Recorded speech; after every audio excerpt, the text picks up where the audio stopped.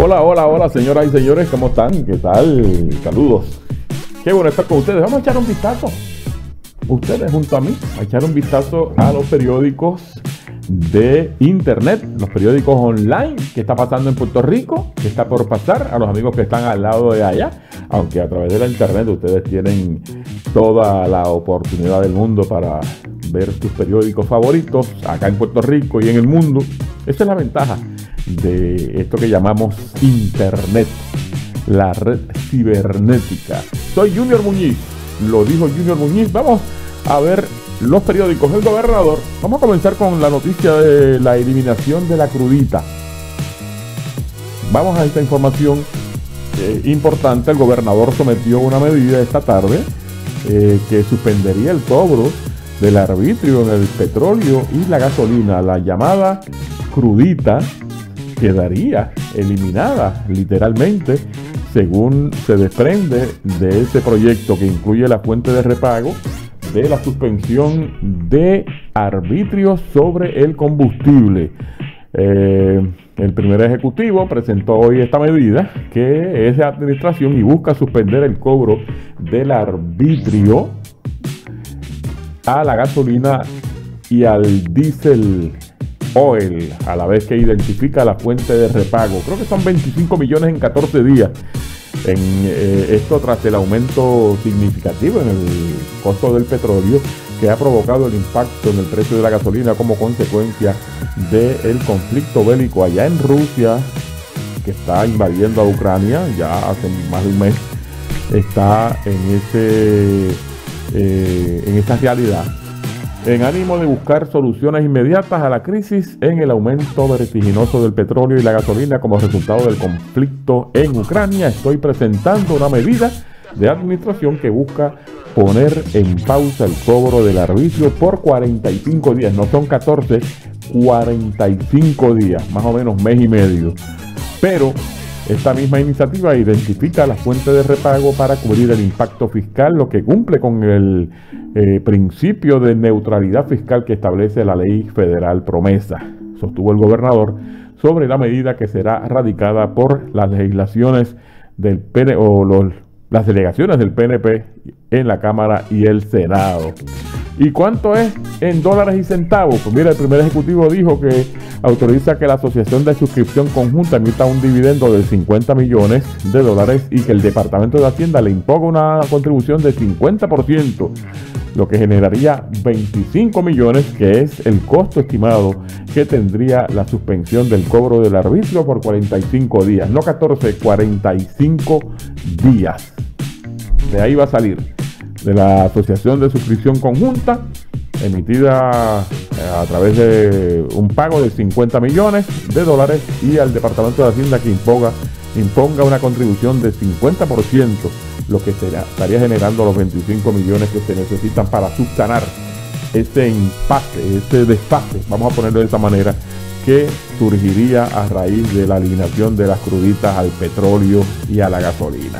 Por otro lado, señoras y señores, no quiero preocupar a nadie, pero Iris Cardona, que es la persona que está a cargo de todo lo que conlleva esto de la pandemia, del Departamento de Salud, dijo que estamos de cara a un probable nuevo repunte, a un nuevo repunte probablemente.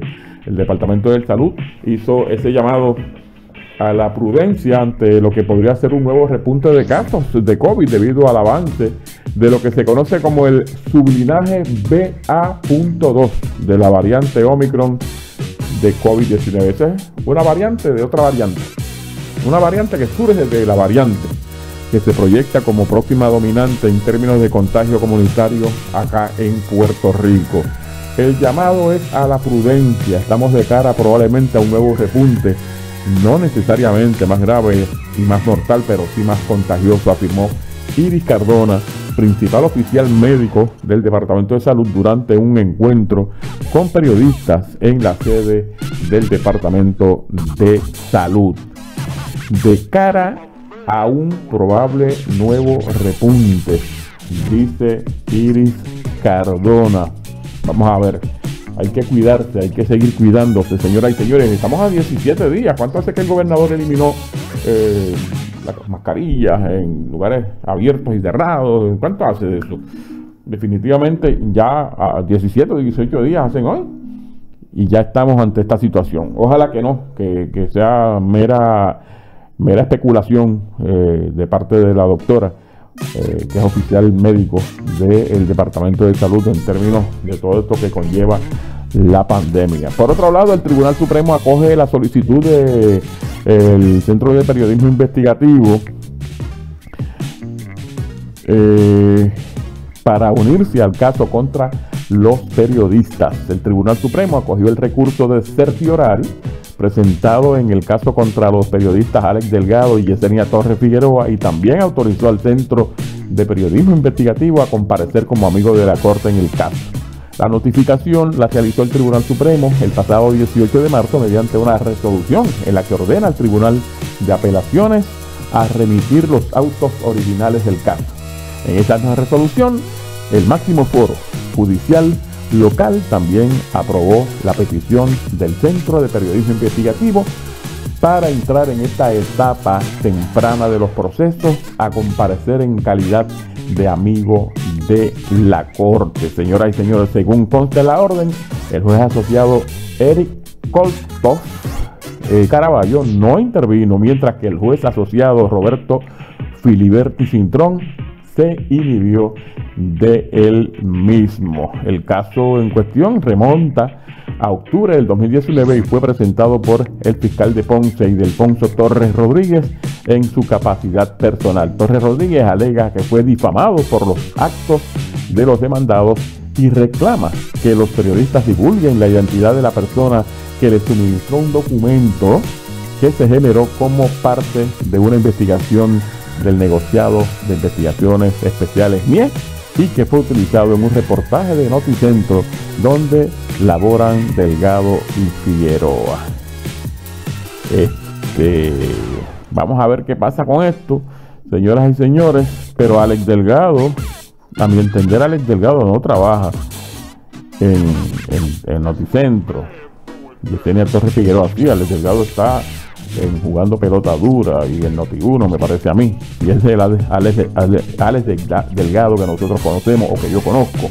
Para finalizar, Will Smith se mostró eh, avergonzado. Dice, estoy avergonzado y mis acciones no fueron indicativas del hombre que quiero ser. Así escribió el actor en sus redes sociales luego del incidente que protagonizó anoche eh, durante la entrega de los premios Oscar. Will Smith publicó esta noche una disculpa eh, por su comportamiento y aceptó haberse equivocado. La violencia en todas sus formas es venenosa y destructiva. Así escribió, mi comportamiento en los premios de la Academia de anoche fue inaceptable e inexcusable. Las bromas a mi costa son parte del trabajo, pero una broma sobre la condición médica de Yada fue demasiado para mí y reaccioné emocionalmente. Me gustaría disculparme públicamente contigo, Chris. Estaba fuera de lugar y me equivoqué. Estoy avergonzado y mis acciones no fueron indicativas del hombre que quiero ser. No hay lugar para la violencia en un mundo de amor y de bondad. Así escribió en las redes sociales Will Smith. Eh, una especie de disculpa.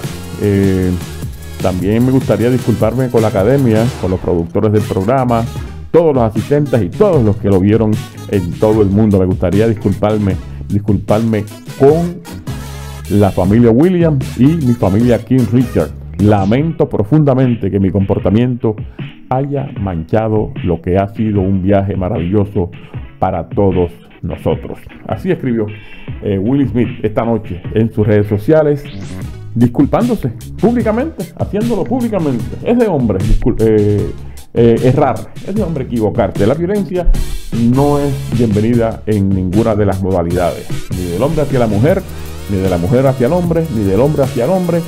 No, no y no.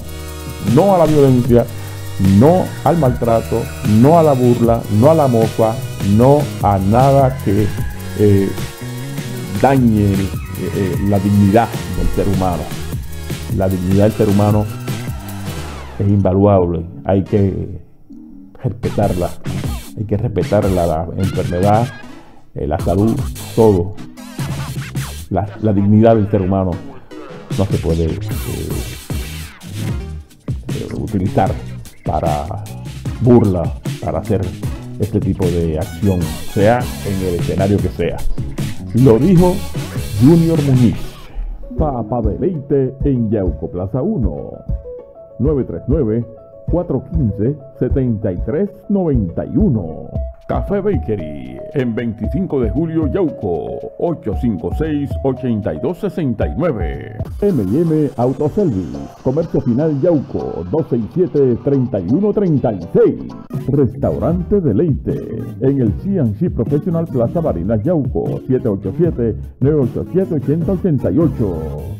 El desvío número 2, carretera 116 Lajas, 827-8422. El desvío número 1, detrás del ñato Ramírez Yauco, 856-2215. Gemelos Auto Park, en Cuatro Calles Yauco, 913-0000.